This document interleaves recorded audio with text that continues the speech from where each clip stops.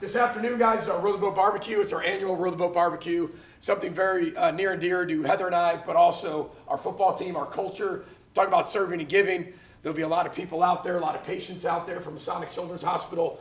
So um, it's all about them for the next hour and a half, two I'm hours. here, I'm sure you've seen both of them around. We have two very special guests today. Megan Wagner is a two-time cancer survivor as well as a heart failure and heart transplant survivor. And then also Braxton Battaglia, two-time cancer survivor. They've, uh, they are both here and want to have, give something to you guys. Since you guys have done so much for us, we wanted to do something for you. We have little gifts for you.